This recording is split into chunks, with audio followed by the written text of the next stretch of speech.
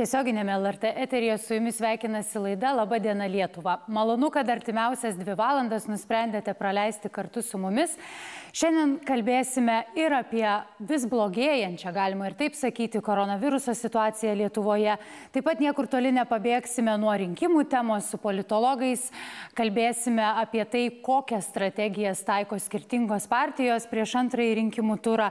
Taip pat su specialistu kalbėsime apie visuomenės apklausas, kaip jos yra atliekamos ir kodėl kartais taip nutinka, kad prieš rinkimus jos rodo visai kitokius rezultatus, negu po to paaiškėja rinkimų naktį. Ir daug kitų naujienų ir žinoma dar daugiau pačios aktualiausios ir naujausios informacijos, kurią kas valandą pristatys mano kolega Ignas Andriukevičius. Labas, Ignai. Labas, laba diena. Turbūt, nors nesidomėjau prieš laidą, kuo pristatysi žinias, bet aš spėju, kad tai bus koronavirusas. Žinoma, pradėsime nuo koronaviruso statistikos ir blogėjančių skaičių. 281 atvejais per pastarąją parą. Iš jų daugiausia fiksuota virš 80 Kauno apskrityje, apie 70 Vilniaus apskrityje, 10 atvejų yra įvežtinių, 177 atvejai yra siejami su protrukiais, taip pat fiksuotos ir dvi mirtys. O tie žydiniai e, labiausiai nerima keliantys yra ligoninėse ir mokyklose. Kitos temos, kurias šiandien apžvelgsime, yra, Europos vadovų tarybos susitikimas, kuris antrą dieną tęsiasi Briuselyje. Ir jį šiandien turėjo palikti Suomijos ministrė pirmininkė, sužinojusi, kad Suomijos parlamentaras, su kuriuo jie anksčiau dalyvavo viename renginių, užsikrėtė koronavirusu ir jie išvyko į savizolaciją. O Europos vadovų taryboje šiandien buvo kalbama apie santykius su išorė ir žinoma buvo kalbėta ir apie sankcijas Rusijos režimui dėl opozicijos opozicijos lyderio Aleksėjaus Navalno apnuodijimo. E, taip pat e, kalbėsime apie tai, kad Vilniuje šiandien vieši Kanados užsienio reikalų ministras, kuris susitiko su Baltarusijos opozicijos lyderė Svetlana Cichanauskaja ir pažadėjo jai paramą siekiant demokratinių permainų.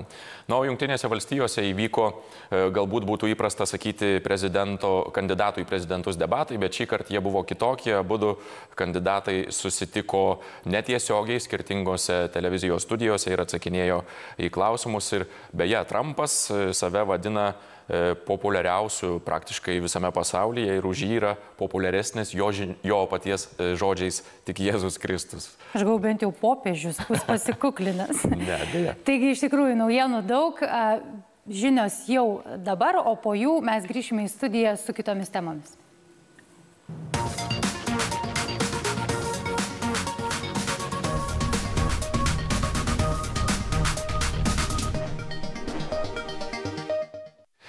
Per praėjusią parą registruota. LRT eterija darbą tęsia laida Labadiena Lietuva. Antrai koronaviruso bangai, gaunant vis didesnį pagreitį, specialistams darosi vis sunkiau atsekti užsikrėtusiųjų kontaktus, o ir visuomenė atrodo vis, lab, vis mažiau bijo šio viruso. Apie tai, kokia epidemiologinė situacija šalyje ir kokie galimi tolesni žingsniai, kiek anksčiau kalbėjausi su sveikatos apsaugos ministru Aureliumi Veryga. Per paskutinės penkias dienas Lietuvoje fiksuota beveik tūkstantis naujų koronaviruso atvejų. Epidemiologai sako, kad na, jie tiesiog artimiausių metų greitai nebegalės atsekti kontaktų, nes jų pačių epidemiologų pradeda trūkti, o atvejų yra daug daugiau. Ar vis dar galima sakyti, kad situacija Lietuvoje yra kontroliuojama? Na, aš nekartą esu sakęs atsakinėjęs į tą klausimą, kad nelygų, ką mes vadinam kontroliuojama situacija. Jeigu mes įsivaizduojam, kad situacija yra kontroliuojama tada, kada virusas neplinta, tai ne, tada galim sakyti, kad jinai nekontroliuojama, nes virusas plinta, atvejų skaičius auga bet jeigu vertinam daugiau dedamųjų vertinam kaip kol kas funkcionuoja sveikatos priežiūros sistema kam dažniausiai virusas ir sukelia didžiausią poveikį tai kol kas sveikatos priežiūros sistema nėra perkrauta jinai funkcionuoja su tam tikrais na iškritimais kai kurių įstaigų bet vėliau jos grįš į normalų režimą. Tai kol kas šia prasme galim sakyt kad situacija yra kontroliuojama Pavasarį e, įvedant karantiną, planuojant tai daryti, e, valdžia šiek tiek net ir pyko ant atskirų savivaldybių, kad jį imasi e, na, iniciatyvos ir įveda vienokius ar kitokius ribojimus, kurių na, aukštesnė valdžia, vyriausybė ir jūs nenumatote. Dabargi valdžia permeta atsakomybę savivaldybėms ir, na, ir premjeras Saulis Kvernelis ir jūs kalbate apie tai, kad savivaldybės turėtų na, pačios priiminėti sprendimus sprendimus. Kodėl yra pasikeitusi šita retorika? Ir na tikrai ne vienas a, žmogus sako, kad yra pasigendama principingos valdžios ir jūsų šiuo atveju a, pozicijos koronaviruso valdymo klausimu. Na, pasikeitusi ta pozicija, gal sakykime, ne, ne tiek retorika, kiek gal pozicija yra pasikeitusi, nes pradžioje, kol na pavasarį buvo tikrai labai mažai žinoma apie patį virusą apie tai kaip jisai elgiasi šalys rinkosi na tikrai kardinaliai priešingas strategijas. Ir tuo metu buvo stengiamasi viską daryti na nacionaliniu lygiu. Dabar mes stengiamės taikyti tokią labiau sakykim regioninę arba lokalizuotą strategiją ir taikyti priemones labiau na tiksliai labiau specifiškai pritaikyti jas konkrečiom vietom kad nereikėtų visoje šalyje stabdyti tam tikrų sektorių arba stabdyti ekonomikos ir žmonių gyvenimą tai dėl to ir ir na pasikeitimas yra ir pačioj ir komunikacijoj ir tikrai prašom savivaldybių labai atidžiai stebėti situaciją. Yra rekomendacijos jau jau prieš keletą mėnesių jos net ir patvirtintos ir ir pateiktos. Dabar stengiamasi talkint savivaldybėm kuriom kažkokių klausimų iškyla bet tikrai na jos negali na nusiimti nuo savęs atsakomybės nes daugeliu atvejų pavyzdžiui sveikatos priežiūros įstaigų socialinės globos įstaigų steigėjai yra būtent savivaldybės.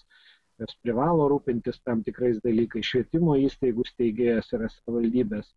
Tai reikia savivaldybių labai aktyvaus vaidmens bet ne susigalvojant kokias nors savo priemones bet pritaikant tas pačias priemones kur mes jau žinom ir būnant tikrai proaktyviem. E, ministre kiek ta pasikeitusi komunikacija tiek vyriausybės tiek sveikatos apsaugos ministerijos yra susijusi su rinkimais su tuo nenoru gąsdinti žmonių kad vėl gali tekti užsidaryti kad kažkur gal ir lokaliai įvedami karantinai?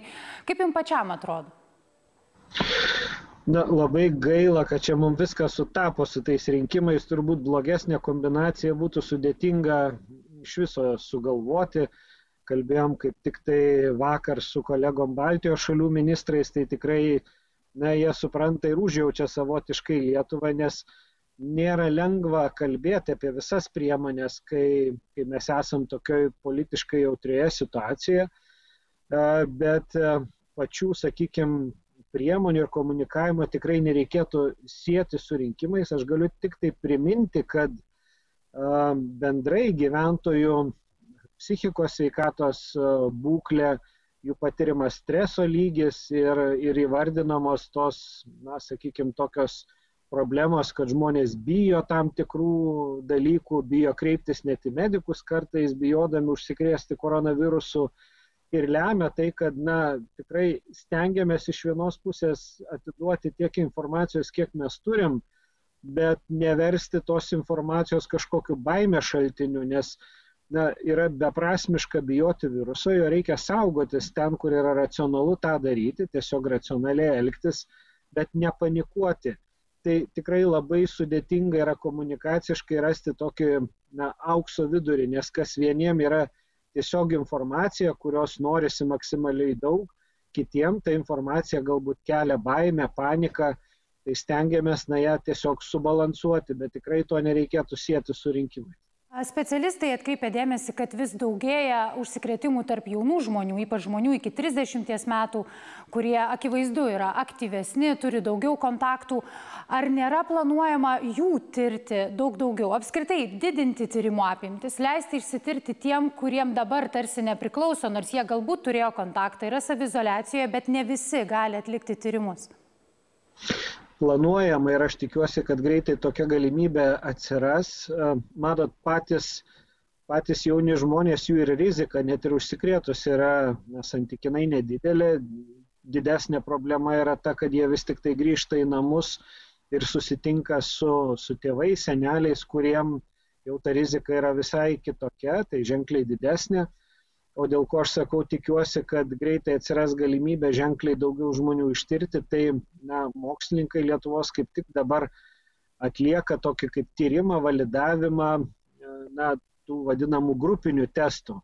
Tai kol kas mes neturim dar galutinio įvertinimo, bet jeigu viskas bus gerai, jeigu tikrai bus pasakyta, kad tą galima daryti, tai bus galima na, ženkliai daugiau tyrimų atlikti, ženkliai daugiau žmonių ištirti, nes tai reikš, kad į vieną mėginį bus sudedama kelių žmonių mėginiai ir jisai bus tyriamas, tai atsiras na, kelis kartus didesnis greitis ir tik tai radus teigiamą rezultatą, tada jie bus tyriami atskirai.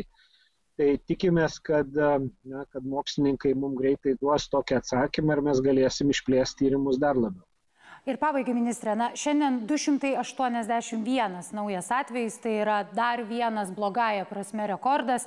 Kas toliau? Ką planuojama, na, artimiausiamis dienomis daryti, ar nieko neplanuojama dėl to daryti?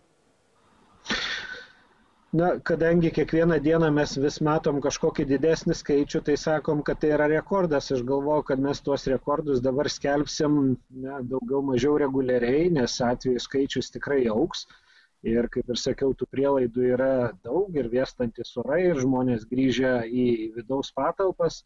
Tai tikrai yra planuojama yra yra nuolat stebima situacija gydymo įstaigose yra bendraujama su organizuojančiom institucijom kad kitos įstaigos būtų pasirengę priimti daugiau pacientų jeigu reikia. Su savivaldybėm taip pat yra bendraujama nacionalinis visuomenės sveikatos centras teikia rekomendacijas ką reikia įgyvendinti yra suplanuoti bus vėl atnaujinti mokymai socialinės globos įstaigom, kad jos būtų tiesiog, na, prisimintų galbūt dalykus, kuriuos spėjo gal pamiršti nuo pavasario. Tai tikrai daug įvairiausių veiksmų yra atliekama, yra ruošiamasi tam, kad iš vienos pusės sveikatos sistema sugebėtų sugerti tai, tai kas gali atsitikti tą augantį pacientų skaičių iš kitos pusės stengiamasi tikrai valdyti regionuose žydinius, kad jie pritaikius priemonės gestų ir, ir lygos plitimas būtų sustabdytas. Ačiū Jums.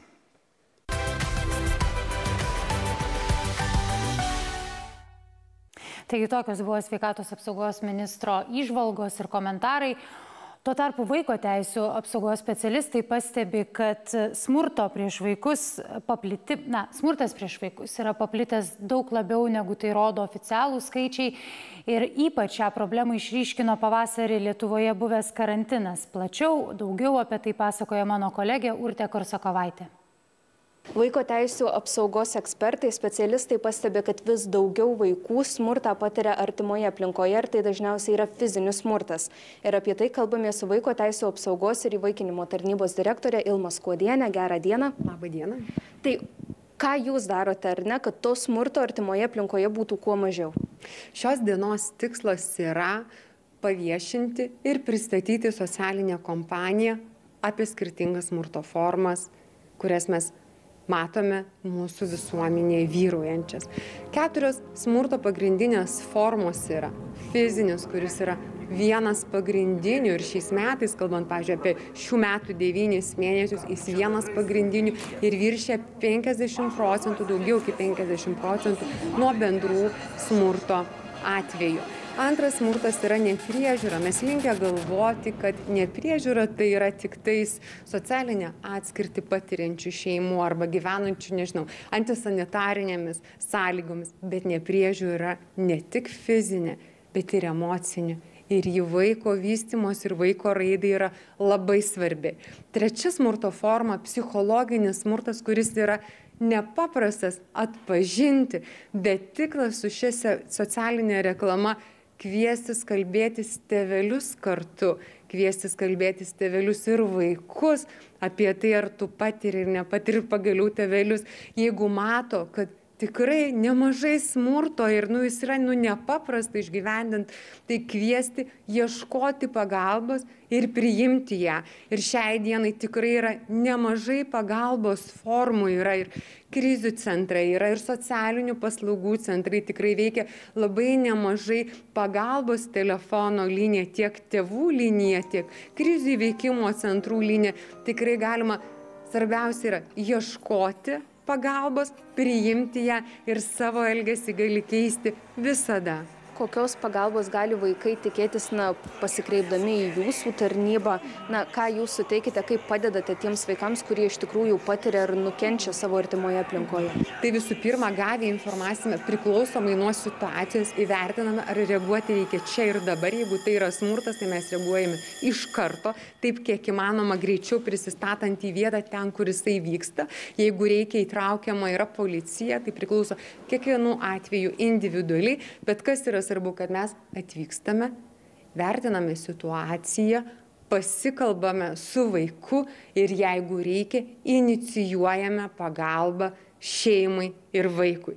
Ir tuo atveju atkeliauja pagalba vaikui pagal poreikį, kokia tai yra. Ar tai reikia psichologo pagalbos, ar tai reikia socialinio darbuotojo pagalbos, ar tai yra mokymosi sunkumai, nežinau, tai vertina darbuotojai ir tada lygiai taip pat vertiname reikalingą pagalbą tevam, kokia yra, ar tai yra krizinė situacija, ar reikia psichologo pagalbos, galbūt tėvystės įgūdžių, galbūt socialinio, o gal šiaip išgyvena šeima krizai reikia tikrai intensyvios socialinės pagalbos pagalbos abiejiem tėvam. Tai mes įvertinę inicijuojam atvejo vadybą ir teikiam pagalbos pagalbą šeimai ir vaikui. Būna situacijų, kad reaguojant čia ir dabar būna kritinių situacijų, kai reikia perkelti vaiką iš šeimos. Yra tokių situacijų nuo 20 metų sausio pirmos dienos įvedus laikinos priežiūros institutą, pasitelkėme artimus giminaičius, senelius, dėdės, pakviečiame gyventi iki mėnesio šeimoje ir suteikti pagalbą.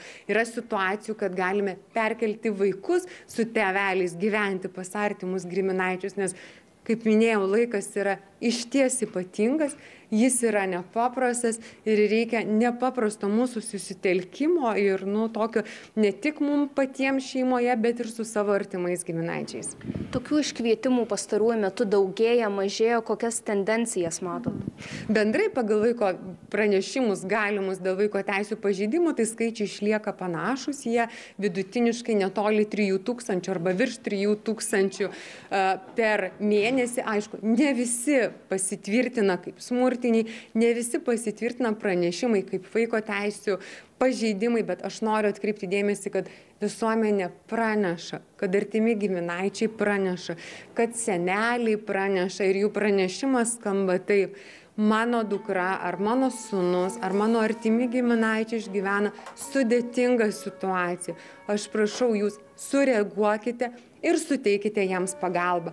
Ką tai rodo? Kad visuomenė tampa nepakanti, kad auga visuomenės pasitikėjimas ir trečia, kad suteikus pagalbą visgi žmogus gali keisti savo elgesį ir gali gyventi kitaip. Ačiū Jums už pokalbį. Na, o aš priminsiu, kad vaikai, kurie patiria smurtą, na, ar tiesiog nori pasikalbėti, visuomet gali kreiptis į vaikų liniją. Ačiū Urtai, dabar laidoje trumpa pertrauka, po jos sugrįšime.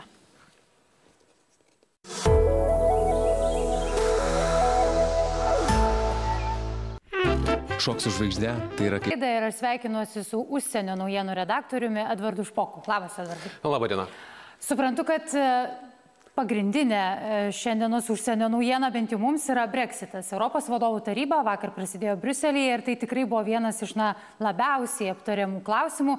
Ir yra naujausia Boriso Johnsono reakcija, kokia ji? Taip, tai iš principo visame tame bendrame kontekste apibendrinant, jeigu e, gali atrodyti, kad abi pusės dabar mėtosi kamoliu iš vienos pusės į kitą, tai yra e, Borisas Johnsonas šiandien pareiškė, kad jeigu Europa nori, susis, jeigu Sąjunga nori e, susidėrėti dėl susitarimo, dėl susitarimo po Brexito, tai jie gali atvažiuoti, bet reikalingas esminis požiūrio pasikeitimas. Ir Johnsonas pareiškė, kad Junktinė karalystė gali išsiversti ir be jokio susitarimo ir jie ES darybininkai yra laukiami e, Londone, bet tik tais tuo atveju, jeigu jie kažkokį tai pateiks esminį pasiūlymą, nes iš principo pačios darybos dabar tarsi yra įstrigusios e, eilėje problemų ir nesusikalbėjimų. Ir dabar atrodo vėlgi, galbūt tai yra ir dėrybinė taktika iš abiejų pusių, nes tarkim vakar ES lyderiai E, buvo tikėtasi, jog, e, tarkim, išvadas įrašys tokį punktą, kad dėrybos turėtų būti intensyvinamos, kad jos turėtų būti intensyvesnės, juolab, kad laiko tikrai neliko labai daug e, iki gruodžio 31 dienos, bet prisiminkime, kad realiai tame tarpe dar turi būti ir ratifikuotas šis susitarimas, kad jis įsigaliotų nuo sausio 1 dienos.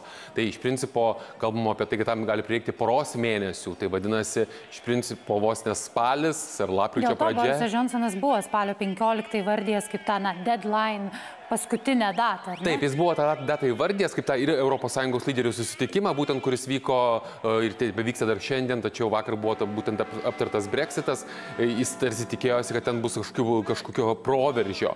Tačiau vakar ES lyderiai konstatavo, kad pažangos yra per mažai, tačiau, kaip minėjau, išbraukė sakinį, kad dėrybos turėtų būti intensyvinamos, tiesa paragino, išreiškė pasitikėjimą ES dėrybininkais, kad dar turi būti kalbamasi ir artimiausiamis savaitėmis ir kalbama apie tai, kad dvi, trys savaitės yra duotos tam, ar bus kažkokia pažanga, ar bus apčiuopiami rezultatai ir tada jau paaiškės tas tikrasis scenarius. Tačiau iš tų pareiškimų dabar tai galima išvelgti dvi pusės, kad abi pusės ruošiasi pasitraukimui be jokio susitarimo, tai yra nuo sausio pirmos dienos įsigalioja pasaulio prekybos organizacijos taisyklės, vadinasi, muitai, visos galimas chaosas, kalbant apie keliones, patikras, kaip minėjau, priekybą ir visa kita, ta prasme, iš tikrųjų, tai daug kas kalba, kad bus e, chaosas, nors abi šalis, tiek Borisas Johnsonas dabar ką tik prieš pusvalandį sakė, kad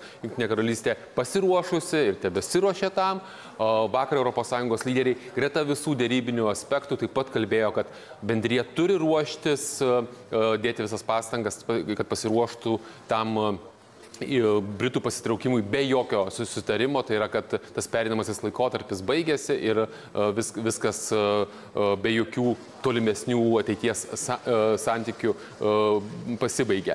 Tai tarkime iš vakarykščių, kas valstybių lyderiai, ką kalbėjo, tiek Angela Merkel, tiek kiti valstybių lyderiai, jie pabrėžia tą, kad susitarimo norima, tačiau ne bet kokią kainą. Tai yra būtent tas, ta pagrindinė žinia ir vėlgi ta, ta kita žinia, kad Britai turėtų nusileisti ant žemės ir tipo priimti ES taisyklės. Tai žodžiu, tas žodžių karas tebe vyksta ir panašu, kad Ir Europos centrinio banko vadovė kalbėjo, kad abiejose pusėse yra labai dideli ego. Taip, abiejose pusėse yra dideli ego. Iš principo yra skiriamos kelios sritys, kur yra didžiausi nesutarimai. Tai viena pirmųjų tokių sričių tai yra žuvininkystė, kur Prancūzija ir Šiaurės Europos šalys nori, kad būtų leidžiama joms žvejoti ir toliau žvejoti Britų vandenyse. Britai sako, ne, mes esame suvereni valstybė ir uh, nustatysime savo taisyklės. Uh, kitas aspektas tai yra dėl uh, priekybos ir pačio reguliavimo santykių. Britai nori, kad prasme, tai būtų uh, pagal pasaulio priekybos organizacijas be muitų, tačiau Britai nesilaikytų ES standartų ir taisyklių. Bendrija sako, ne, ne, ne, ne, jeigu jūs norite laisvos priekybos, mes turime kalbėtis apie uh, taisyklės, kurių jūs turite laikytis, kurių iki šiol Britai turėjo laikytis, kai dar buvo ES nariai. Britai atkerta mes dėl to ir stojom, kad norėjome patys reguliuoti um, savo, savo taisyklės. Ir kitas svarbus dalykas būtent uh, reguliavimo priežiūros mechanizmas, nes Britai nenori būti paklusti Europos teisingumo teismui, Europa reikalauja, kad Britai paklustų Europos teisingumo teismui. Tai, tai iš principo tokie tam tikra, tam tikra prasme ir fundamentalūs dalykai, bet vėlgi tai yra dėrybiniai dalykai ir, tarkim, iš vakar pasisakymų Prancūzija tarsi nėra labai linkusi nusileisti, kalba apie miglotus kompromisus, tačiau tarsi nėra labai linkusi nusileisti ir šiuo atveju atsiranda tas, kai bendryje dar plus reikia suderinti ir 27 narių pozicijas ir kai kurios jų yra gan, gan kietos. Ačiū tau. Kalbėjome su užsienio naujienų redaktoriumi Edvardu Špoku. O dabar a, kalbėkime apie maistą. A, šiandien minima pasaulinė maisto diena ir Šią dieną vertėtų kalbėti ne tik ir ne tiek apie maistą, kiek apie maisto ekonomiką. Bent jau taip sako mano kolegė žurnalistė Jurgita Čiaponytė. Labas, Jurga. Labas, Milda. Anksčiau buvo kalbėta ir prognozuota, kad augant gyventojų skaičių pasaulyje pradės na, ir milžiniškai išauks maisto kainos ir e, gilės bado problema. Ar tos prognozijos pasitvirtins?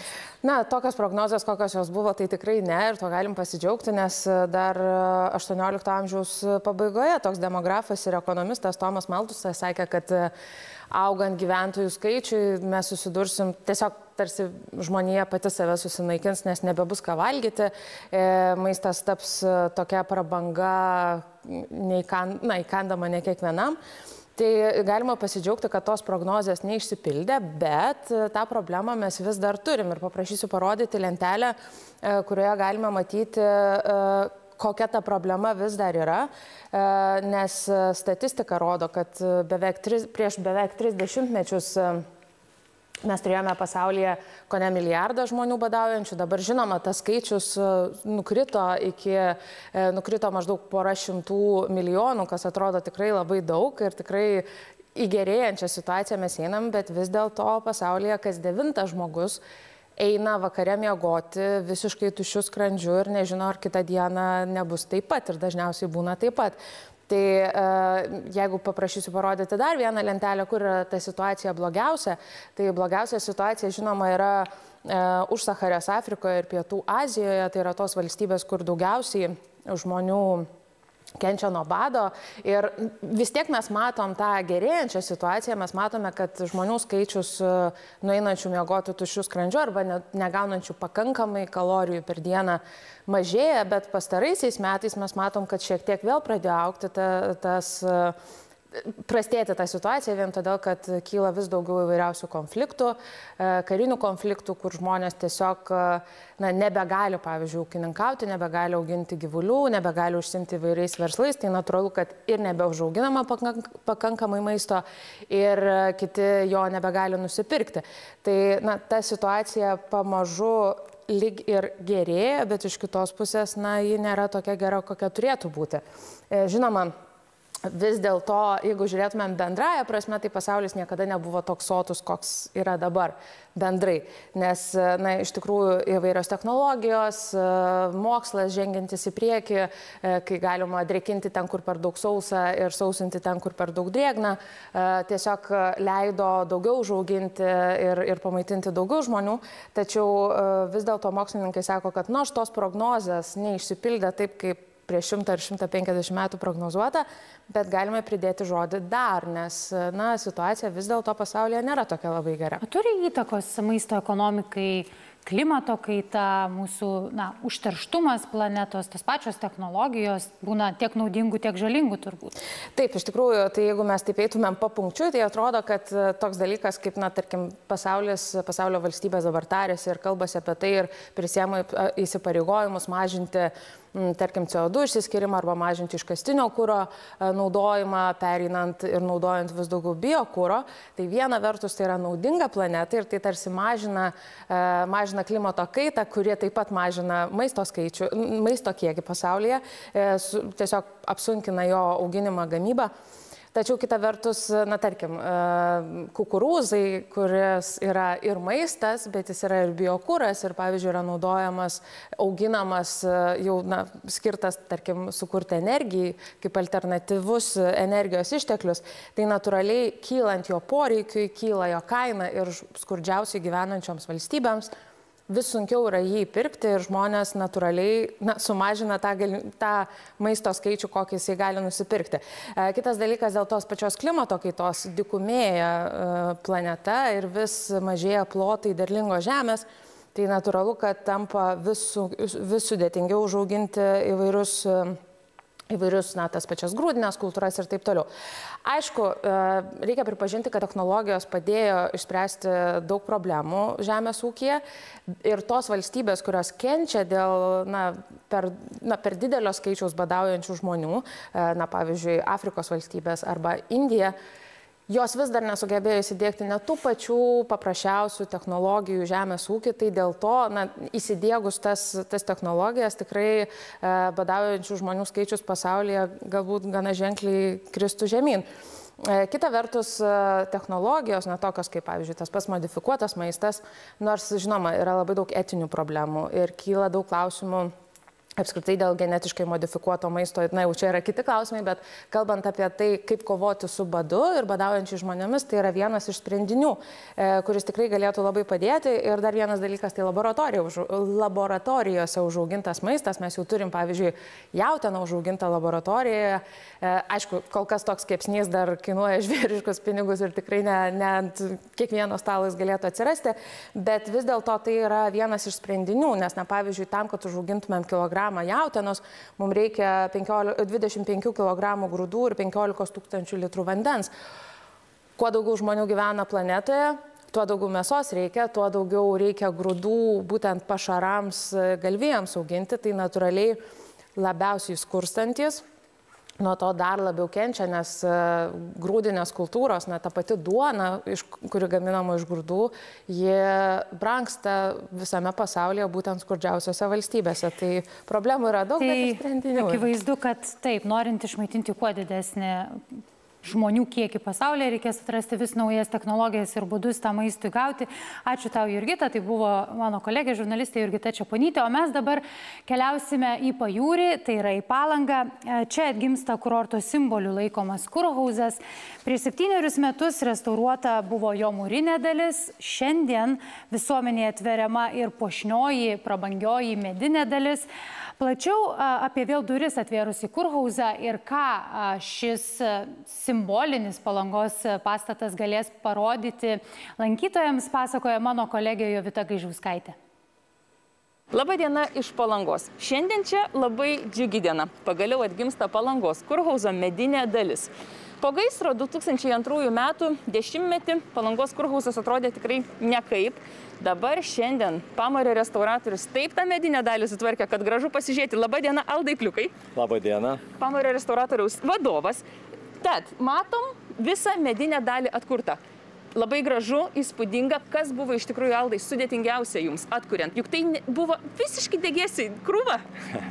Na, žinoma, pirmas uždavinys buvo atkuriant, atkurti taip, kad pastatas įgautų pirminę savo formą tiek tūriu, tiek planu, tiek visojomis iš išorės e, na, pošybos detalėmis. Tai ir kalbėčiau apie fasado apkalimą. Tai yra lentos, o tarsi atrodo kaip plytos, reikia išfrezuoti taip. Tai yra e, drožiniai išoriai. Na ir aišku, architektai spalviniai sprendimai. Ir e, bokšteliai ir na, visas detalės yra ir, ir senieji pamatai restauruoti tokie, kokie buvo. Tai išorė yra atlikta, na, e, sakysiu taip, viskas taip, kaip buvo, tik e, pagerinta taip, kad tai yra šiuolaikiniam, dabartiniam, ilgalaikiam gaisro atspariom medžiagomis. Labai gražu ir vidui. Ačiū Aldai. O dabar jau mes einam pasižiūrėti į vidų ir ten pamatysim, kaip įspūdingai atkurtos yra salės. Palangos kurhauzas kurorto istorijos pradžia. Būtent čia buvo įkurtas pirmasis restoranas, vėliau išplėstas ir jau čia buvo veikė viešbutis, o dabar kviečiu jūs, čia kur dar niekas nebuvo, bet netrukus galėsim pasmalsauti. Einam į salę. Ir čia jau mus pasitinka architektė Laima Šliogerinė. Labą dieną, sakau pirmiausia, poniai Laimai, nors matau ir palangos merą, bet netrukus pa, pasišnekėsim. Labą dieną. Sveiki. Jūs stovit čia, kur galit parodyti vieną tokią detalę, kuri yra jūsų dėka atkurta, ar ne? Galim ją pasižiūrėti.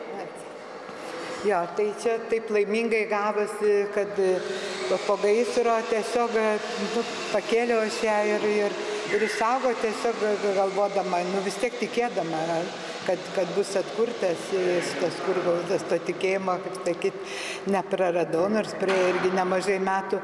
Aišku, galima buvo daug daugiau išsaugoti, bet netrodė, kad čia nugriaus ir, ir, ir, ir, ir nebus tiesiog priversti, nes tada saugoti nes buvo tikrai ir daugiau likę. Tai čia va taip laimingai, kad ir dar vieną detalę išsaugojo, buvo išsaugota va šita dar detalė, labai graži su Galim dar parodyti. va fragmentas dar buvo. Tai čia va irgi težalo lapai su, su giliam, su visko. Tai žinot, jiem gaminti, kai jie turi tikrą pavyzdį, natūralą, tai buvo aišku labai palengvinimas. O šiaip tai tikrai pa- pagarba gal galia lipdytojam, kurie va, šitą sugebėjo. E, Aišku, buvo visi brėžiniai, nu, kaip sakyti, kon konkrečiai išdėstymas, kur gabaritai, kur kokią detalę, bet tas realizavimas toks kokybiškas. Tai iš tiesų didžiausia pagarba ir dėkingumas. O kas šitoje salėje buvo prieš tą 150 metų, kai Palangos kurkusas buvo pastatytas? Na tai čia tokia va įdomu, kad tai buvo skaitikla. Vis dėlto taip, jo tokia reprezentacija su tokiu puošniu interjeru ir buvo taip ir išlikus dar viena nuotrauka vidaus, būtent ir, ir tie, tie skaityklos baldai išdėstyti tokie va, atitinkantis tą stilių, tai remiantis tą, tą ikonografiją. Tai čia dabar, kadangi, aišku, paskirtis dabar kita, jinai bus tokia reprezentacinė, gal čia vyks ir, ir santokos, ir, ir kiti e, tokie iškilmingi čia renginiai. Tai, tai vat, būtent šitas ir, ir, ir ta nuotrauka buvo pasitarnavo e, sudarant programą būtent baldam, kad dabartiniai dabar gaminami baldai šitai patalpai bus e, to atitinkamo stiliaus. Pagal tą laikmetį jie bus gaminami, kad atitiktų. Ačiū, sakau Jums, pane Laimona, o dabar pasikalbėsime su Palangos meru Šarūnu Vaitkumi. Labadiena, merė. Labadiena. Šiek tiek, pane Laima, jau užsiminė, bet mes galim detaliau. Kasgi veiks dabar jau toje medinėje, atkurtoje, išgražintoje dalyje? Vienu žodžiu galiu pasakyti, kad tai veiks kultūra, kas ir buvo, kai atkūrėm e, mūrinę dalį, yra perduota kultūros ir jaunimo centrui ir per metus toje reprezentacinėje kitoje salėje vyksta apie 250 renginių. Tai šitoje vietoje, mūriniai daly, tos funkcijos nekeičiam.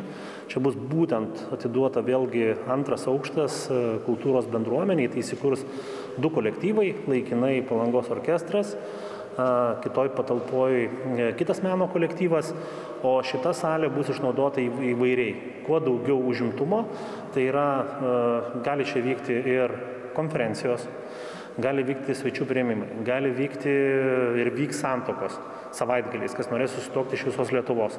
Na, puikiai salė, puikiai erdvė atkurta, o jeigu matėte kitą funkciją, tame pačiame aukšte yra teatro salė kur teatro salėje vyksta spektakliai.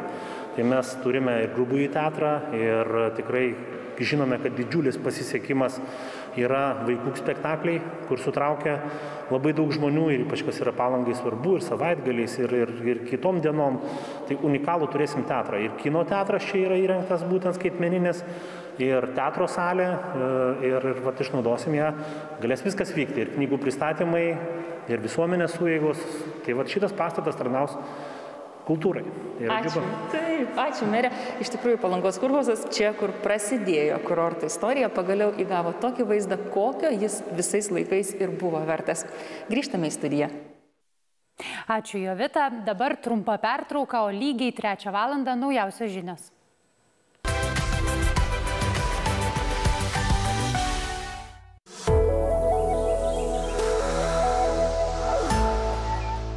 Čia sėklos sėmenys, kanapės su...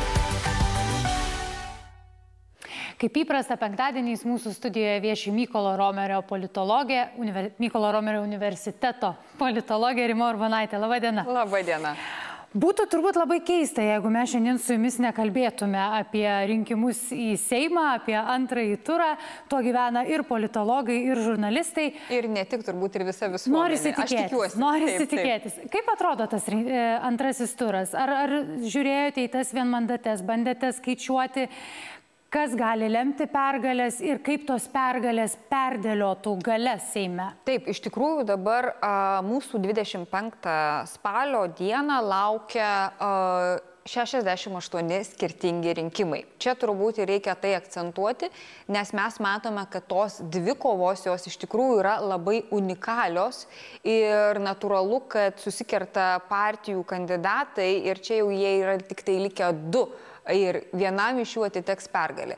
Dabar kas iš tikrųjų yra labai svarbu, ką mes turėtume matyti, kad matematiškai žiūrint taip, daugiausia savo kandidatų antrajame ture turi Tevinė sąjunga Lietuvos krikščionys demokratai, bet vėlgi, pavyzdžiui, yra 12 dvikovų, kur yra būtent konservatoriai ir ta pati Laisvės partija.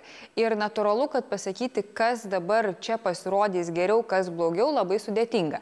Bet turbūt yra keletas veiksnių, kurie gali lemti tas pergalės Vienas dalykas yra tai, kaip pavyks kandidatam atvesti rinkėjus ir atvesti ne tik tai tuos, kurie už tave pirmame bals, tu, ture balsavo, bet ir dar pritraukti kitus, kurie jau dabar antrame a, ture to savo pir, pirmo kandidato nebeturi. Nes jų motivacija yra gerokai nusilpusi, nes mano kandidatas nepapuolė į antrą turą, ar man tikrai verta eiti. Arba iš tų likusių dviejų ne vienas. Ir arba ne vienas netinka. Aš, pavyzdžiui, pati turiu situaciją savo apygardoje, kai man ranka nekyla nei už vieną balsuoti ir reikia galvoti, ar, ar kaip rasti rasti tą mažesnę blogybę, nes balsuoti lyg ir atrodo norisi, bet čia yra labai nelengvas tas pasirinkimas, nes tai yra visiškai tau neprimtini kandidatai abu. Tai vat ir tokių situacijų gali būti labai nemažai. Bet kitas dalykas vėlgi yra a, klausimas ne tik tai kaip atvesti tuos rinkėjus, bet būtent kaip tada ir juos vat, būtent mobilizuoti ir balsuoti kad balsuotų už tave. Dar kitas niuansas, kurį aš atkreipiu dėmesį, kuris man irgi atrodo įdomus, kad a, mes dabar lyg jau turime tokias žinutės, kas yra tie vadinamieji laimėtojai ir pralaimėtojai rinkimų. Tai štai pavyzdžiui, na vis dėlto turim čia pripažinti, kad tarkime, a, netarkime, o taip ir yra, pralaimėtojai vis dėlto yra socialdemokratai. Ir žiūrėkite, kaip dabar jų rinkėją atvesti, netgi jų pačių rinkėją jiems atvesti. Nes rinkėjas sakys, ar man dar verta eiti balsuoti, net jeigu aš už tą patį kandidatą pirmame turė balsavau, nes jau jie juk vis tiek pralaimėtojai. Tai dar šitas aspektas gali įnešti tam tikrų korekcijų.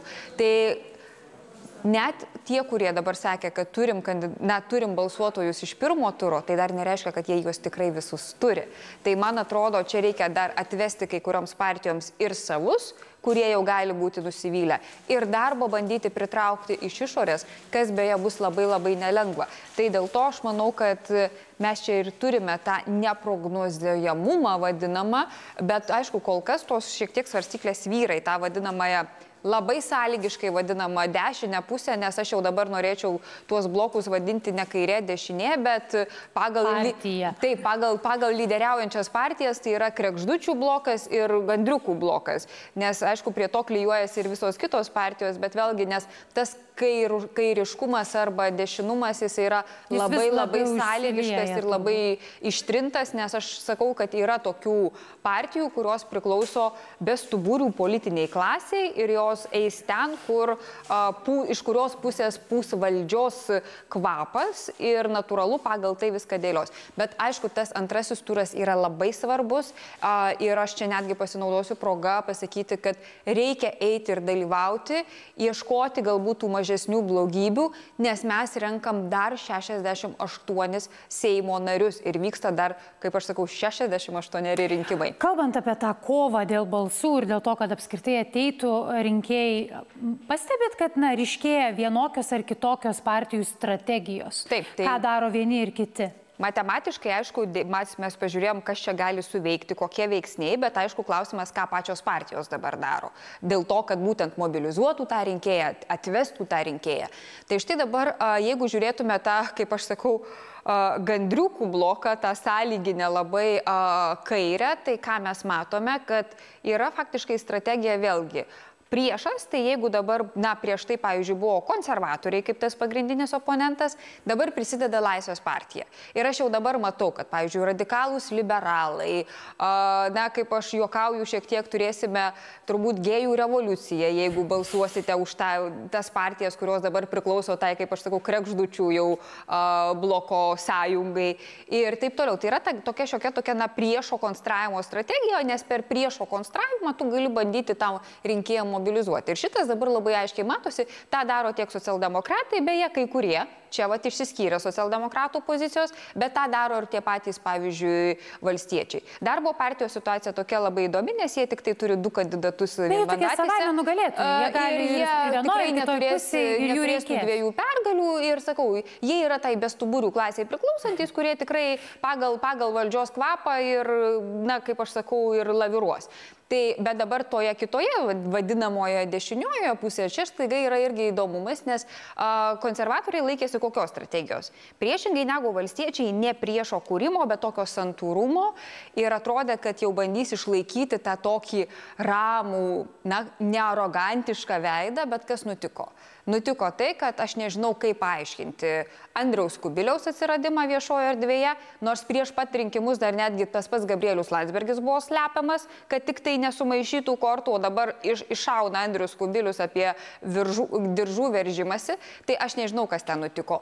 Bet kitas dalykas, aišku, yra ir tai, kad kai kur emocijos jau nebevaldomos, nes irgi matyti iš tos laimės, kad čia ta valdžia vis dėlto pasiekiama, kai kurie nebevaldo emocijų, bet, pavyzdžiui, Laisvės partija labai laikosi griežtos savo linijos. Tam, kad iš tikrųjų kovotų su, su konservatoriais ir jų pagrindiniais dabar priešininkais. Ir visai pabaigai, ponia Urbanaitė, labai trumpai Lietuvos Lenkų rinkimų akcija Krikščioniškų šeimų sąjunga kreipėsi su prašymu anuliuoti e, daugiamandatės rezultatus.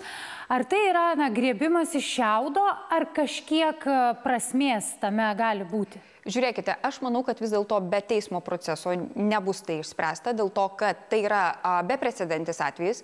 Kai tik tai iniciatyva Andriaus Tapino kilo, aš čia šitoj pat vietoje stovėdama sakiau, kad mes turėsime kampanijos dalyvį, kuris nėra formaliai kampanijos dalyvis. Ir kaip tai bus traktuojama, dar iki šių, na, buvo tikrai neaišku. Ir dabar ta problema kilo, bet tegul tai išsprendžia iš pradžių ir VRK įvertina, paskui teismai į ką ir mes turėsime tiesiog teismų išaiškinimą ir turėsime tą viso to traktavimą. Bet kur aš noriu atkreipti dėmesį ir kokia yra mano pagrindinė žinia, kad šita situacija tai nėra a, Tomaševskio, na vadinkime, klausimas.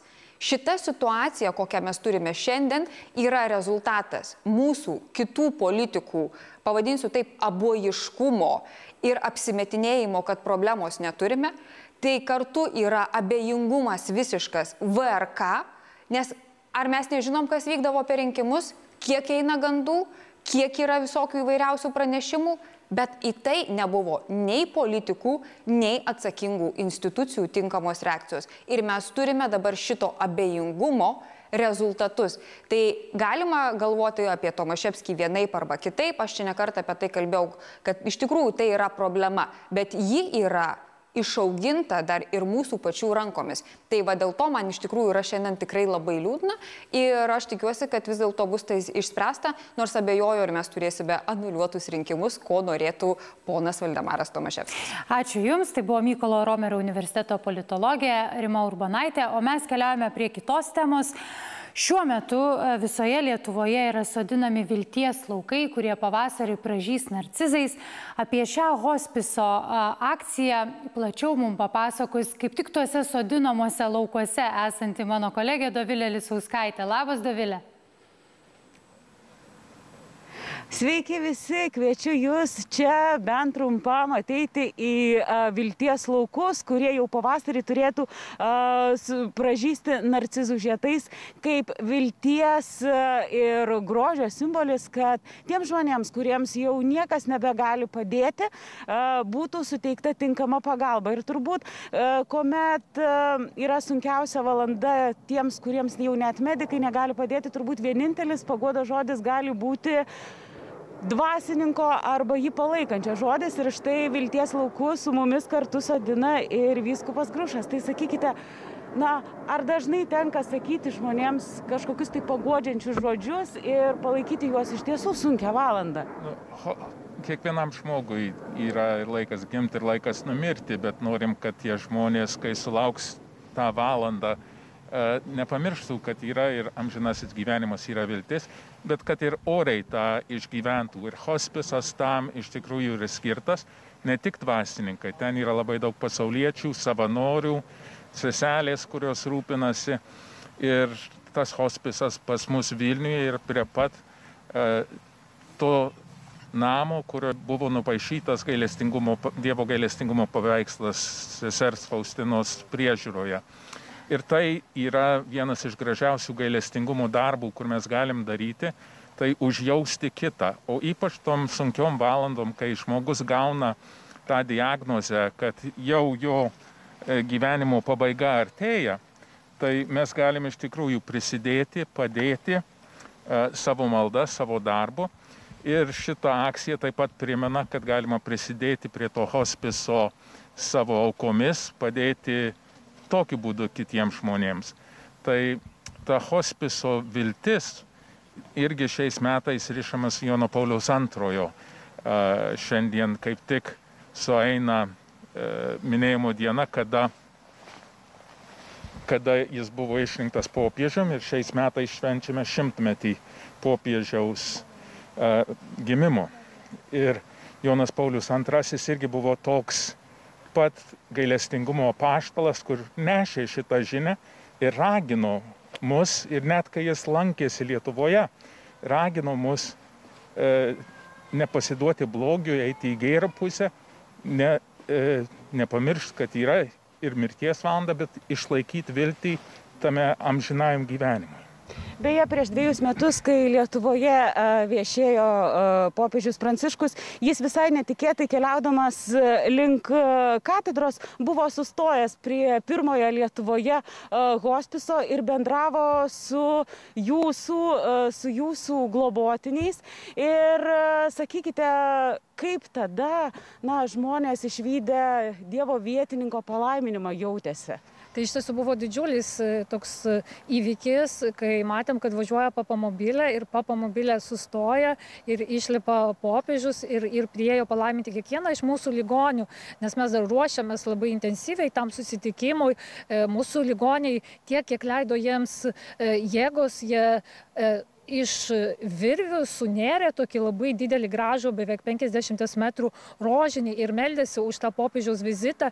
Ir ypatingai prisimenu vieną mūsų ligonį, kuris labai labai laukė to susitikimo ir kai po popiežiaus vizito aš prieėjau pas jį į palatą ir paklausiau, tai kaip jaučiatės, kokios emocijos, tai jis sako, man trūksta žodžio apsakyti, nes tikrai sako, gauti popiežiaus palaiminimą, man tai buvo kažkas labai, labai svarbaus ir tai man teikia ir viltį, ir, ir tai, kad galiu nugalėti savo lygą, galbūt galiu turėti kitą dieną geresnę negu tą, kuri, kuri buvo e, diena prieš. Ir tikrai toks yra didžiulis džiaugsmas ir tas vilties teikimas. Ir taip pat mūsų šios dienos kampanija jau septintoji vilties laukai būtent yra irgi skirta tam, kad duoti tą viltį, tą gražesnę kasdienybę mūsų sunkiai sergantiems ligonėms, kuriems na, dėja medicina jau sako, kad niekuo kažkokiu aktyviu gydimu nebegali padėti.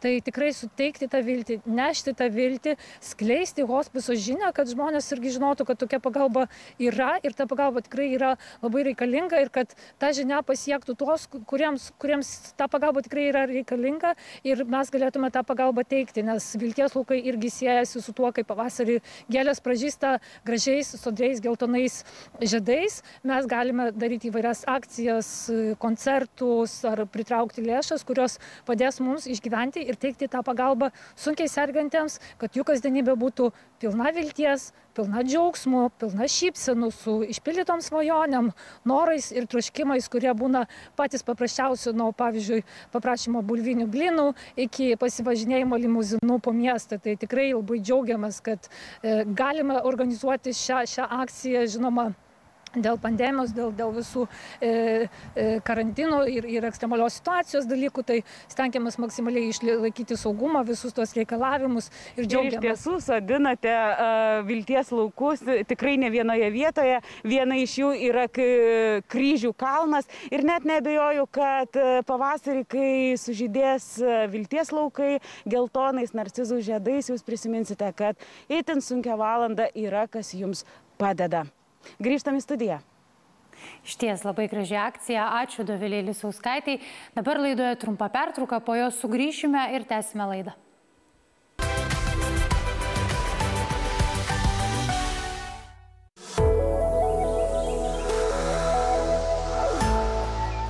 Numatyti Kas įvyks auksinio proto? Klausiama įvairiausiais klausimais, bet daugiausiai dėmesio įprastai sulaukia visuomenės nuomonės tyrimas dėl politikų, dėl artė, politinių partijų, artėjančių rinkimų. Nagrinėja politikai reitingus ir na, tikisi, kad jie, jeigu geri, e, bus tokie ir rinkimų rezultatai, bet kartais tos visuomenės apklausos būna visai kitokios negu galutiniai rezultatai. Apie tai, kaip yra vykdomos šios apklausos ir kodėl kartais jų duomenys skiriasi skiriasi nuo e, galutinių rinkimų rezultatų, kalbuosi su rinkos tyrimų bendrovės Pinter tyrimai vadovu Ignu Zoku. Labadiena, ponė Zokai.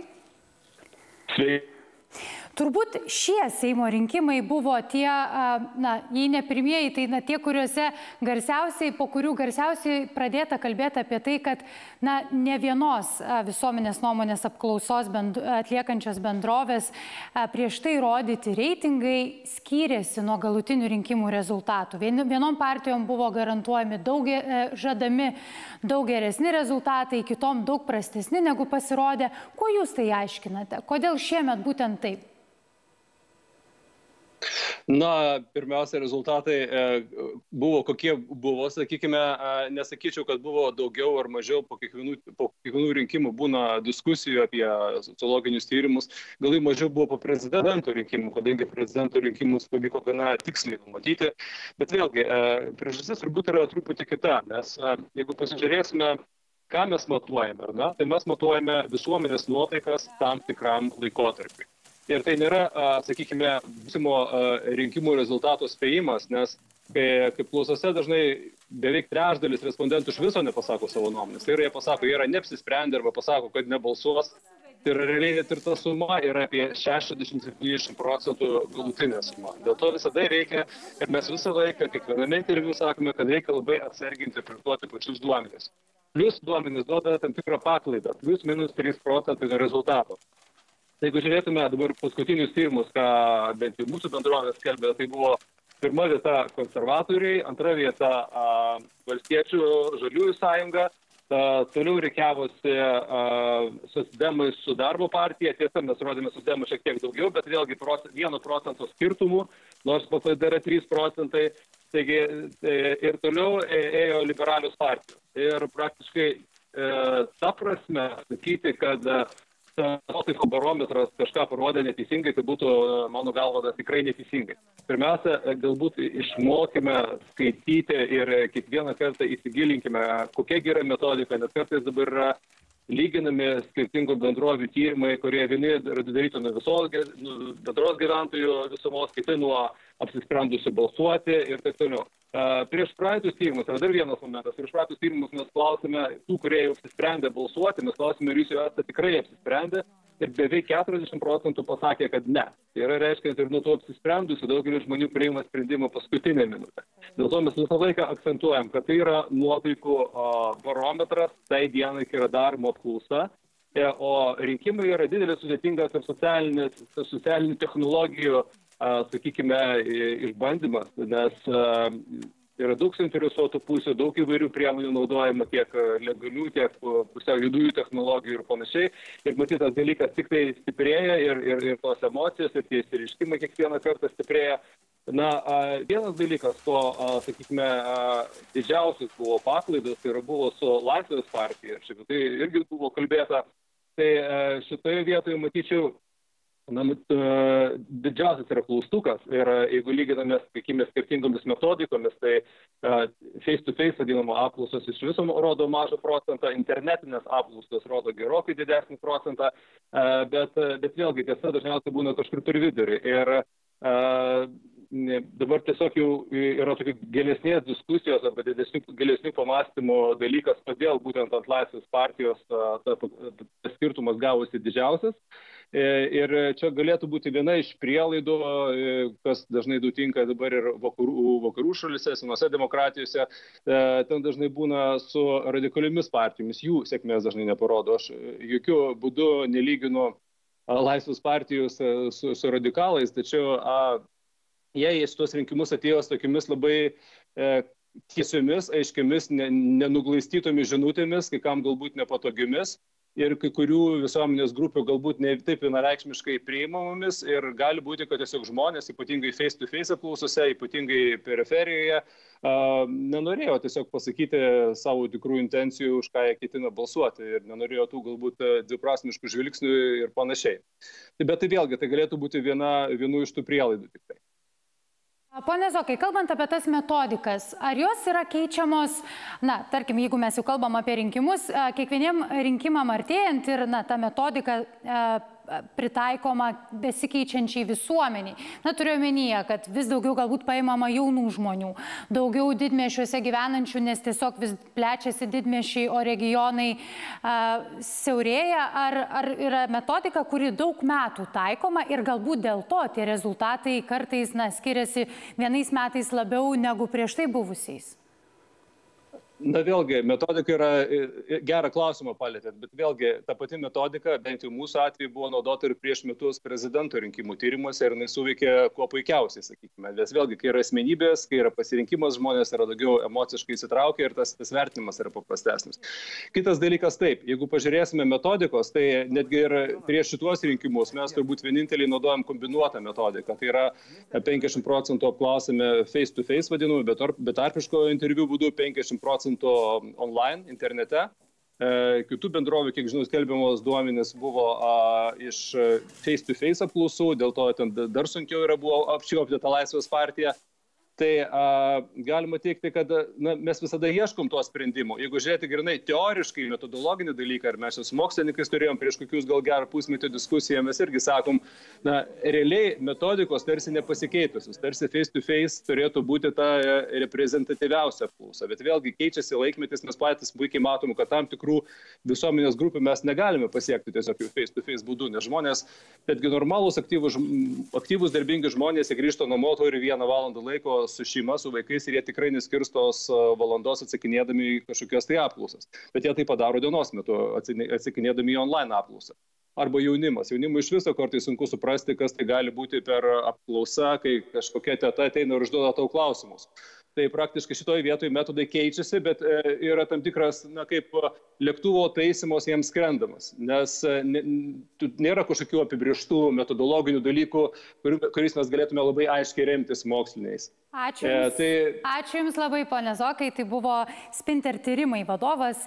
O dabar e, nepameskime rinkimų temos ir e, pakalbėkime apie tai, kaip kitaip, kaip papildomai galės balsuoti savizolacijoje esantys žmonės, tokių visoje Lietuvoje yra apie 35 tūkstančius, o apie tai, kaip Vilniuje keisis tvarka, kal, domėjosi mano kolega Giedrius Vitkauskas. Giedriau. Taip, Milda, kaip tik dabar esame Lūkiškio aikštėje ir iš tiesų kalbėsime bent jau pradžioje apie tai, ne tik apie esančius savizolacijoje, bet ir apie tuos, kurie norės iš anksto balsuoti, sakykime, neįti į patalpas dėl COVID grėsmės užsikrėtimo, norės, sakykime, laukia tą padaryti, kaip kad darė pirmajame turė, tai yra Lūkiškio aikštėje, sostinėje buvo sudaryta galimybė balsuoti laukia, saugiai. Ir kaip tik dabar čia esame, aš primenu, kad nuo pirmadienio iki ketvirtadienio, nuo 7 iki 8 vakaro galima bus atiduoti čia balsą, tačiau kaip viskas kas vyks, galbūt bus kažkokių pakeitimų, kaip tik ir paklausime sostinės savivaldybės administracijos direktoriaus Povilo Poderskio. Tai iš tiesų, ar, ar, ar tos eilės taip pat bus e, ir ar galbūt srautus kažkaip pavyks šį kartą sureguliuoti e, greičiau, kad atiduotų žmonės balsą tam, kad nebūtų tos eilės nežvarbu, e, praneša kitą savaitę bus dar labiau. Iš tikrųjų, tai antram turė pats balsavimo procesas vyks greičiau, nes e, tai natūraliai um, mažiau užtrunka, reikia vieną biuletenį tik tai užpildyti, ne, ir, ir, ir pačios eilės, tikimės, nesusidarys tokios didelės, bet e, jūs pats viską kaip ir teisingai pasakėt, viskas vyks kaip ir pirmame ture, eilės, eilės judės greičiau, bus galima balsuoti visose tose pačiose iš ankstinio balsavimo vietose, tik tai na, savizolacijoje esantiems turėsime vieną naujovę ir, ir, ir apie dar plačiau irgi pakalbėsime. Taip, tai būtent tada ir galim dabar, nes aktualiai didžiausia tai yra, buvo daug, daug, daug buvo kontroversijų šiuo klausimu. Tai kaip bus dabar turą? Vyriausia rinkimų komisija vis tik rado sutarimą su e, sveikatos apsaugos ministerija ir perkelė mūsų tą pilotinį projektą, kurį naudojame tiesiog kaip iš ankstinio balsavimo vietą, pavers ją balsavimo vieta savizolacijoje esantiems, tik tai tai vyks prie Litexpo, kad galėtume išvengti kamščių na, e, savanorių prospekte ir tenai pakankamai visi turėtų e, suspėti suvažiuoti ir prabalsuoti antrame ture tie, kas yra savizolacijoje. Tik e, aišku, keičiasi tam tikri dalykai nuo pirmo drive-in punkto, taip vadinamo, automobilėje galės būti griežtai tik vienas žmogus, negalima bus išlipti, jeigu atvažiuos dviese, bus e, išprašyti ir e, to balsavimo atlikti negalės. Tenai ir, ir, ir būtent e, tai bus skirta tik tai išimtinai grinai tiems, kurie yra savizolacijoje. Mhm. Tai ką reikia žinoti atvažiavo, at, prieš važiuojant ir kas tą galės padaryti, ar, pažiūrėjau, žmogus šiat laikinai esantis Vilniuje galės balsuoti? Taip, galės balsuoti visi norintys, e, kurie yra savizolacijoje. Tai tokia galimybė sudaroma, nes savizolacijoje esančių yra daug. Kiek tiksliai jų yra e, šiuo metu būtent Vilniuje, mes nelabai ne, ne galime pasakyti, nes kiti renkasi savizolacijos vietą kitose miestuose, bet atvažiuoti balsuoti čia jie galės. Kaip prognozuojat, kiek, kokie srautai gali būti? Jūs minėjote prieš tai savanorių prospekte policija turėjo daug pastabų dėl susidariusių spūščių. Taip, tai spūstis susidarė, žmonės tikėjosi, kad prabalsuos tenai ir pateks labai greitai. Mes turėjom apie 200 e, žmonių per dieną galimybę tenai prabalsuoti ir iš tikrųjų nemažai kas jie pasinaudojo. Tai tame tarpe, e, na, reikia suprasti, kad e, tas balsavimo e, kiekis galbūt netrodo labai didelis, bet kadangi tenai dirbo realiai e, du žmonės, kurie, na, tai yra tas pats, kas vienas langelis, kuris dirba rinkimo apylinkėje, tai reiškia, tas raudas per tenai ir turėjo taip, na, po truputį palengva judėti. Tai buvo labai nuoseklus procesas, kurį mes bandėm ir manau, kad pavyko labai puikiai. O kaip dabar, taip pat bus vienas punktas ar bus daugiau? Tam, tikėtina, tikėtina, kad bus vienas, e, bet gal ir norinčių bus mažiau ir galbūt eilė judės greičiau, nes nėra reitingavimo, nėra yra vienas biuletenis ir, ir, ir, ir todėl tai a, pati procedūra turės a, e, įvykti greičiau, tai ir norinčių tikėtina a, e, pavyks aptarnauti visus, kurie, kurie atvažiuos. Taip. O jūs minėjot, kad tik e, vienas automobilė, tai yra vairuotojas reiškia. O jeigu žmogus esate savizolacijoje, bet jis ne, nevairuoja automobilio? Na tai yra e, tada visa kita procedūra, kuri, e, kurią gal čia geriau pakomentuotų vyriausios rinkimų komisijos specialistai, bet iš esmės reikia rašyti į balsuokėtą VRKLT ir, ir, ir jie tada e, užregistruoja tave balsavimu iš namų ir gauni e, biuletinius, kuriuos atneša VRK, na, apylinkėje dirbantis specialistai ir tokiu būdu gali savo balso teisę pasinaudoti. Taip, ir dabar tada apie apskritai situaciją dėl COVID Vilniuje. E, jūs dar pats šią savaitę minėjot, kad reikia nurimti ir blaiviai pasižiūrėti į visą situaciją. Tai kaip Vilniuje šiandien visuomenės sveikatos centro specialistai sako, kad klausimas, kur Vilniuje ar Kaune yra didesnė apie Iš tikrųjų, tai būtų, būtų daug, daug, e, daug paprasčiau dirbti, jeigu nebūtų tų, sakyčiau, visai isteriškų tiek sveikatos apsaugos ministro, tiek e, premjero pasisakymų apie kažkokią nevakritinę būklę, nes E, šiandien turime daugiau susirgymų Kaune negu Vilniuje ir, ir, ir tie skaičiai, nu, jais yra gan, ganėtinai manipuliuojama arba jie tie politikai yra e, informuojami blogai, bet e, kuriuo atveju mes e, vykdom tą, ką pasižadėjom. Mes turėjom šiandien dvi sesijas, vieną su barais ir naktiniais klubais, e, apsitarėm su jais ir šiandien pasirašysime iš karto memorandumą. Ir, na, net memorandumą, tai toks kaip ir susitarimas, kuriame ir mes patys pasirašome, kad e, jie užtikrins saugų buvimą e, ir dalyvavimą tame procese e, naktinio gyvenimo gyvenimo ir būtent tos vietos, kurios e, sudalyvaus susitarime, mes kviesime ir visus kitus prisijungti, na, dės visas pastangas į tai, kad e, žmonių sveikata ten būtų užtikrinta. Mes e, atitinkamai reklamuosime tas vietas kaip saugaus pasilinksminimo ir tos, kurias užtikrina tą saugumą. Tai džiaugiamės, kad randame tą dialogą. Kitas pasitarimas buvo su sportininkais ir neformalių ūkdymų, tai atitinkamai panašų susitarimą planuojame su jais kitą savaitę. O ką, ką kitko gali daryti maitinimo įstaigos arba naktiniai klubai, negu ką dabar darė? Ką jos likščioliai nesaugiai Na, paslaugas? likščioliai jos, sakykime, nebūtinai tą darydavo ir ne visos tą darydavo, kai kurios darydavo, kai kurios darydavo atmestinai, bet e, visose, e, kurios pasirašys susitarimą, bus privaloma registracija, įeinant e, bus e, ribojamas žmonių kiekis iki saugaus ir bus e, taikomas one in, one out principas, kai vienas žmogus išėjęs, ir tada tik kitą galima įleisti. Bus e, e, reikalavama, kad šokio aikštelėje visi būtų su kaukėmis, kad e, e, gėrimus e, gertų prie baro ir nesneštų jų šokio aikštelę tenai, ne va tai gerdami juos nu, be kaukių būtų. Tai tokie visokie reikalavimai, kuriuos kartu su barais e, šiandien aptarėme, jų pačių atsakomybei prisimti ir mūsų nurodymų na, patvirtinti, manau, kad tikrai padės tą situaciją suvaldyti, jo labiau, kad na, e, ta situacija tenai nėra tokia kritinė. Mes turim daug susirgymų, kurie plinta e, mokymo įstaigose, bet ne baruose. Taip, ačiū Jums. Priminsiu, kalbėjome su Vilniaus savivaldybės administracijos direktoriumi Povilu Poderskiu. Milda. Ačiū Gedriui už aktualiausią informaciją. Tikėkime, kad daugiau galimybių balsuoti paskatins žmonės tai daryti. O dabar pasižvalgykime, kas naujo ir įdomaus socialiniuose tinkluose. Šalia manęs Karolina Panto. Labas, Karolina. Sveika. Kas dominuoja socialiniuose tinkluose šiandien? Kokios naujienos? Koronavirusas, žinoma, dar vienas, na, kabutėse rekordas, antirekordas, 281 naujas užsikrėtimas koronavirusu Lietuvoje. Ir yra įvairių reakcijų. Mūsų kolegė žurnalistė Indrė Makaraitytė pastebė, kad vakar, kai taip pat buvo skelbta tuomet, kad buvo rekordas 255 atvejai, labai daug atvejų daugiausia buvo Vilniuje ir buvo daug raginimų Vilniaus valdžiai, kad jie imtųsi kažkokių veiksmų, uždarytų galbūt barus arba pribotų verslų laiką. Tačiau šį kartą, kai daugiausia atvejų yra Kauno apskrityje, na, reakcijos yra kiek kitokios.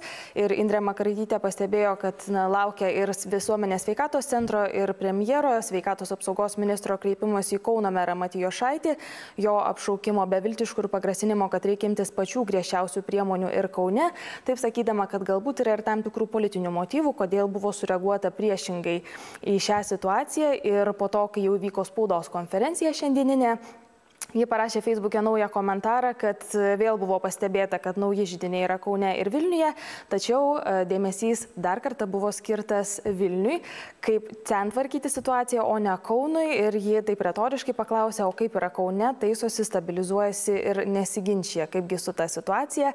Taip pat pastebima, kad e, vis dažniau pastarosiomis dienomis apie atvejus ir epidemiolo- epidemiologinę situaciją praneša ne pats e, ministras Aurelijus Veryga, bet Rolandas. Jolanda Lingienė iš visuomenės, nacionalinio visuomenės sveikatos centro. Ir apžvalgininkai sako, ar susidaro tik vienam, pavyzdžiui, Romas Sadauskas klausė, tik jam vienam įspūdis, kad ministras prieš antrąjį rinkimų turą pasislėpė už Lingienės halatos kvernų. Na, tartum, nenorėdamas gazdinti galbūt visuomenės ir sakyti tokių baisių skaičių, jis ją išstato į pirmąjį planą.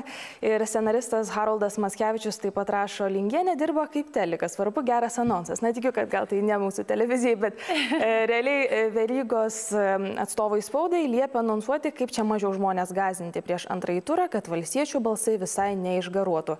Štai tokias Na, kelios tiesų, nuomonės. Iš pat, iš pat ryto šiandien buvo ponios Lingienės Anonsas, anonsas. taip, kad sulauksime atvejų rekordą tiesa. Taip. Taip, dar viena tema, taip pat kaip ir klausai, kas dominuoja tinkluose, tai yra dar vienas e, su Seimu, su valdančiais susijęs klausimas. Tai yra Ritos Miliūtės dar vakar Nueinantys Seimo vakare. nariai nenulaikė liežuvio už dantų paskutinėmis dienomis Seime. Dar vakar vakare buvo paplitę socialiniuose tinkluose toks vaizdo įrašas iš aplinkos apsaugos komiteto, kuris e, posėdis vyko šį trečiadienį. E, Seimo nariai norėjo priimti e, vienas įstatymo pataisas statybų klausimais, tačiau kai kai kurie posėdžio nariai pasitraukė, kiti atsijungė iš vaizdo konferencijos, nebeliko kvorumo, tai pastebėjo ir komiteto patarėja, sulaukė štai tokių reakcijų, paklausykime. Neskubėkite, aš iš- nuspręsiu pats. Prašau. Prašau, klausiu. Nebus kvormo, nesvarstysi. Prašau, tylėti. Aš kalbu dabar. Kas čia per vadovavimą? Jo. Jo, jinai čia geras. Gerai, gerai, Pauliau, dėkui, dėkui.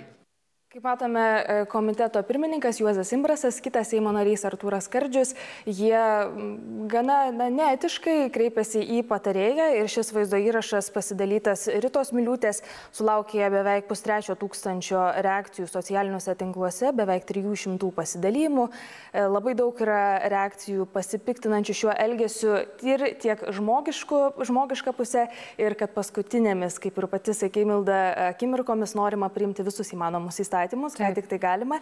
E, Dovilio Javinskaitė, mūsų kolegė iš radijo, e, sako, kad be penkių minučių eksparlamentarų kultūra, seksizmas, eidžizmas, kad ir kiek tau bebūtų metų ir visoks kitoks ponų lygis, telpantis į 23 sekundžių dialogą.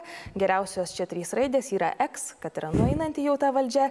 Ir e, sanskritologas Vytis Vidūnas taip pat pasidalyja, sako, kvorumo nebėra, bet pavadovauti norisi, nartas kreipinukas mergaitė. Ar nekyla klausimų? Kilo klausimų, Seimo opozicija opozicija visai neseniai pasirodė žinia kreipėsi į etikos ir procedūrų komisiją, prašydami įvertinti tokį elgesį. Ypač turint omenyje, kai tai mergaitė, mergaitė dirba jau dešimt, daugiau nei dešimt Taip. metų Seime teisininkė, tai nu, turbūt kompetencija bejoti nereikėtų. Na, skandalingas įrašas taip. Ir e, taip pat yra breksitas aptariamas socialiniuose tinkluose. Taip, vakar Europos vadovų taryba e, nusprendė paraginti dar kartą Junktinę karalystę e, nestabdyti dėrybų dėl breksito, dėl periodo po breksito ir toliau laikytis įsipareigojimų, kurie buvo jau nustatyti breksito sutartyje. Šiandien Borisas Johnsonas, Junktinės karalystės premjeras, pasakė, kad iš tikrųjų patys ES lyderiai stabdo tas dėrybas ir nelabai noriai jie velėsi į jas tikisi, kad viską išspręs Londonas, todėl e, turi pasiruošti šalis ir variantui išstoti be jokio susitarimo, kas be abejonės yra labai blogai šalies ekonomikai, kaip pastebi žmonės, įvairūs apžvalgininkai, kad pandemijos viduryje, kai žmonės jau praranda daugybę darbų, ypač Junktinė karalystė labai paveikta pandemijos, tai būtų labai prastas sprendimas. Na ir kiti žmonės taip pat kritikuoja, kad po ketverių metų chaoso, breksito chaoso, dar vienas toks žingsnis yra labai nesveikintinas ir ko gero atsilieps gerokai stipriau, e, negu tikisi Borisas Johnsonas, parodydamas tartum savo principus. Ir aš žinau, kad mūsų laidos pabaigai turi ir labai gerą žinę. Taip, visiems lietuviam patiks. Labai įdomus toks e, faktas, kad buvo šaltibaršiai pripažinti vienu geriausių tradicinių patiekalų. Puslapis Taste Atlas, kuris vertina ir su surenka kiekvienais metais šimtą geriausių patiekalų iš kiekvienos šalies. E, jis įvertino ir šiemet įvairius patiekalus. Pirmoje vietoje tiesa yra pica margarita, e, kiti kiti patiekalai ir štai septintoje vietoje matome, kad yra lietuviški šalti barščiai ir paspaudus ant tos nuorodos, e, kiek daugiau yra kalbama anglų kalba apie pačius šaltibarščius, kaip juos pagaminti, kaip jie atrodo visas receptas, tad užsieniečiams draugams tikrai galima tokią nuorodą nusiųsti ir paraginti pasigaminti. Kai žinoma, gal bus kiek šiltesni orai. Kaip pas Lietuvoje viešėjo mano draugė Turkija, jį pirmiausiai labai nu, nustebo pamačiusi spalvą, jį nuoširdžiai nesuprato, kas čia yra, bet paragavusi sakė, kad labai skanu, jai irgi patiko. Ačiū tau, Karolina, ačiū žiūrėjusiems, netrukus lygiai 16 val. naujausios žinios, iki pasimatymo.